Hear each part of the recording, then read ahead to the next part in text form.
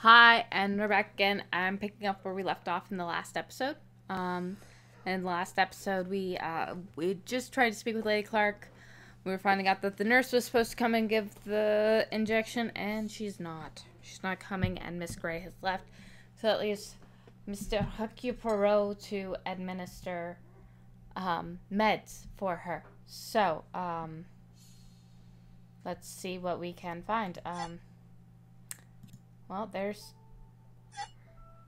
April 1925, Aceh Province, Sumatra. so somebody somebody likes to hunt things. Uh, so long as it's being done properly, I I can't really say anything about that. Um,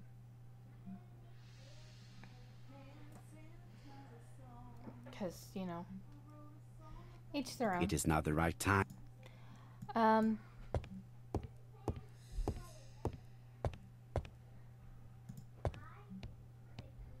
Lady Clarke is in pain. Okay, so that's not where the meds are. All right, I know where the meds are then. Yay.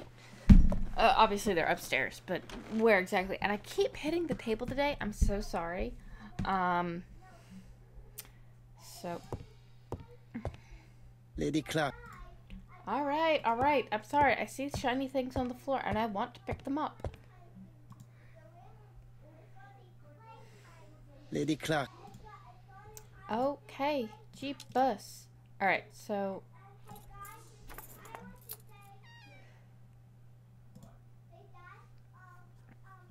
Ah, Mr. Poirot. Oh, I feel better now. Thank you for your help. I I, I apologize uh, for the background noise. Um, our roommates are home, and so uh, their their daughter is having a very loud conversation. It's great. So it's awesome. Um, so You asked for me, chère madame. Yes. Yes, of course, I wish to speak with you. But what was it about? No doubt. You wish to talk to me about what happened to your husband? Ah, yes. Oh, poor Carmichael.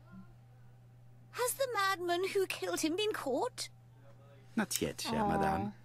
There was a great many people in Churston on the day of the murder. Indeed. People go straight to the beach. They don't come near Combeside. So, there were no strangers around the house that day?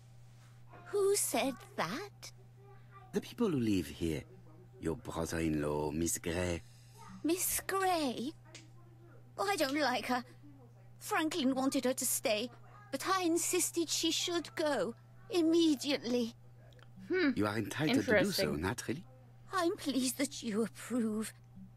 The others have been taken in by her.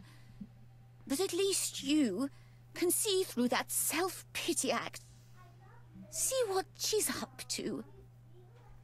Oh,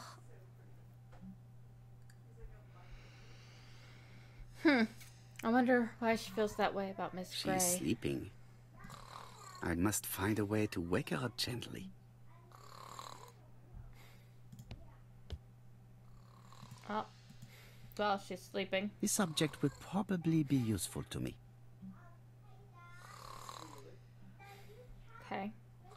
I've finished with this subject. All right. All right. This subject will probably be useful to me.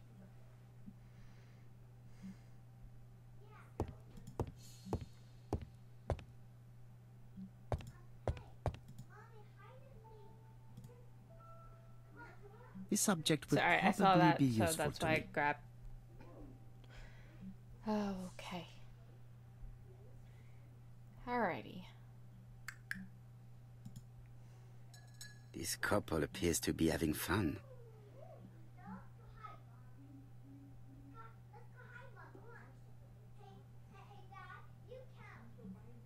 Lady Clarke and Sir Carmichael were very happy, but they did not have any children. Hmm. Well then, that happens.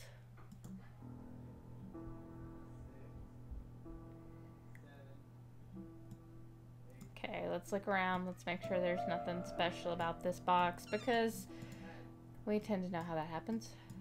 Okay. Oh, we've got a broken spring. Which can be dealt with. This spring appears to be broken.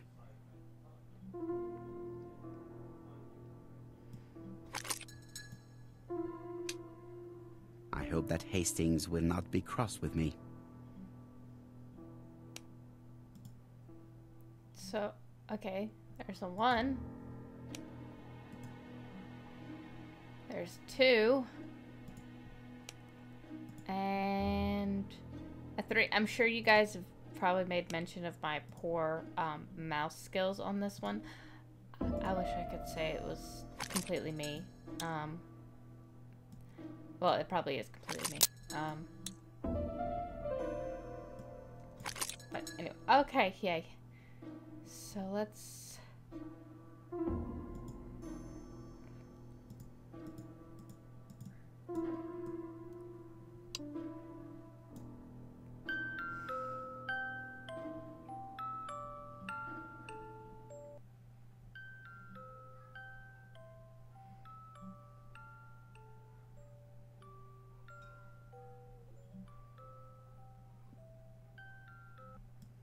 Oh, what are we talking about? Ah, yes, uh, uh, Thora Grey. Oh, Carmichael had great esteem for her. But for me, she was nothing but a hypocrite. Hmm. Miss Grey was a hard worker, though. Thank goodness. Fortunately, she was good at her job. I don't see why you all think you should have to defend that girl.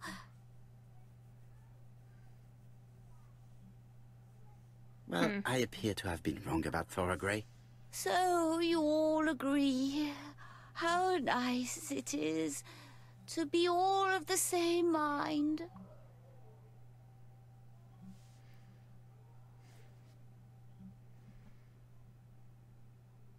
Hmm. Franklin really idealized Miss Grey. Absolutely. It's so good to uh, see that you all agree with me. Miss Grey did look after you very well, though. Outwardly. But she's hiding something. I think she tried to poison me. Miss Grey? A poisoner? But everybody appears to like her. It proves she knows what she's doing. She's manipulative and she's a liar. A liar? Let's see, didn't she say that on the day of the crime nobody was around Combeside? That is correct. Well, at 11 o'clock I saw her talking to someone. Really? And what was this man like? An ordinary sort of man with a very plain face. Oh, I don't remember well. Was he a gentleman? Hmm. No, he was not, not a gentleman. It would be best to leave her to sleep now. Okay. The telephone in the hall is ringing. Well, we kind of have to go get that now. Again.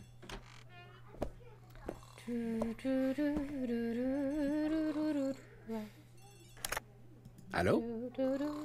Poirot, is that you? Hastings here. Thank you for calling. Have you received a new letter from the murderer? No, thank goodness. How are things in Churston? I questioned Lady Clarke, but I will not leave until I have examined everything of interest to me here. Fortunately, Franklin is absent, and I have a skeleton key. Have you seen Thora Grey again? Briefly. But rest assured, I intend to summon her to London soon. She's a fascinating girl. But secretive. I would like to ask her a few questions. Poirot, she wouldn't hmm. hurt a fly. Each to his own, my friend. Yours are pretty often mine old ladies that have the maladies. Poirot, are you mocking me? No ill intended, rest assured. À bientôt, mon ami.